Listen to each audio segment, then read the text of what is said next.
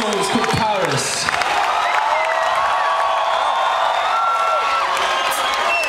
Please sing along. And dance.